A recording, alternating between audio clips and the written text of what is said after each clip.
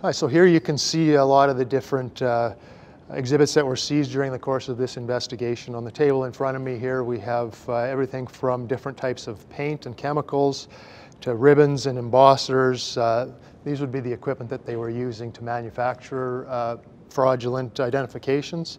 As we move over to this table here, you can see uh, the extent of the firearms and the weaponry that was seized during the course of this investigation, from uh, crossbows all the way up to a lot of long guns.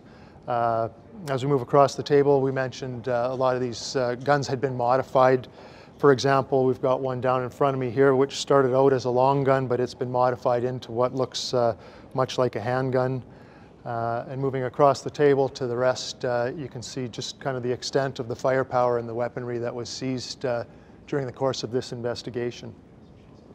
As we come in behind me here, uh, you'll recognize on the table uh, point of sale terminals, skimming equipment, uh, credit card type point of sale um, terminals to passports, and then coming down in behind me here, you'll recognize a lot of this common identification that most people carry in their wallets, that being credit cards, social insurance uh, numbers, Alberta healthcare cards, driver's licenses, uh, PAL licenses.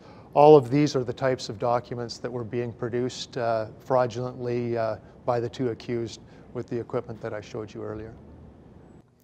I'm here today to speak about an investigation that ultimately started with a vehicle stop and ended with the recovery of 28 firearms. Back in late 2018, we were called to a residence regarding a prolific offender named Matthew Stuthard, who had been released into the community on several conditions. When members attended the residence to speak with Mr. Stuthard, who was at the time being monitored by investigators within our targeted offender section, they were unable to locate him. About a week later, our members conducted a vehicle stop on a stolen Dodge Durango, which was being operated by Mr. Stuthard, and another male by the name of Alexander Alarie. At the time of the vehicle stop, both men were wanted on a combined total of 97 outstanding warrants. And from what we understand, were attempting to flee the province and head to the east coast. Given the significance, the significant amount of warrants and the stolen vehicle they were operating, both individuals were taken into custody at that time. As investigators continued to progress their investigation, search warrants were obtained for residences, vehicles, and a storage locker where a combined total of 28 non-restricted firearms, some of which had been modified, were located. A crossbow and a compound bow were also seized. In addition, approximately 2,300 stolen and fraudulent identification documents were recovered, as well as the equipment to produce fraudulent identification. Ultimately, we believe that the two accused were obtaining people's identification through criminal activities such as theft of mail and theft from vehicles. We also believe the two accused were manufacturing fake identification to fraudulently obtain property, including firearms, and would then sell them. As a result of this 16-month-long investigation, both men were charged with a total of 77 offenses, including identity theft, fraud, weapons trafficking, and drug-related offenses. I can tell you that both accused were known to police. However, I can't elaborate any further on their criminal history. The information that we have leads us to believe that uh, they were selling the firearms to others who were engaged in a criminal lifestyle. Typically, firearms would be modified to enhance the ability to conceal them. Take a sawed-off shotgun, for example. Uh, the smaller you make a firearm, the easier it is to transport and or conceal.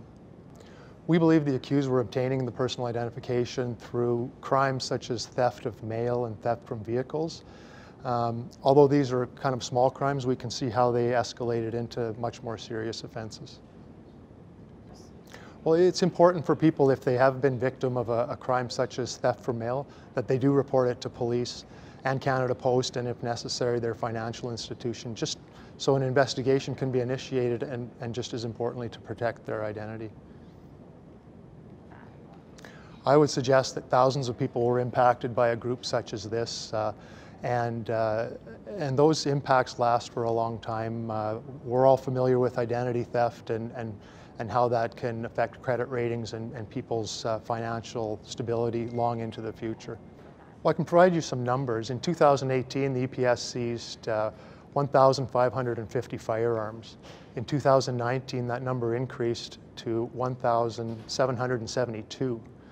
Although we've seen an increase in the past couple of years, uh, this could be attributed to a couple of things. Are there more guns on the street? That could be the case, but it could also be a case of police are just getting better at finding them. I can tell you in, in this year, 2020, uh, so far we've, we've seized 313 firearms.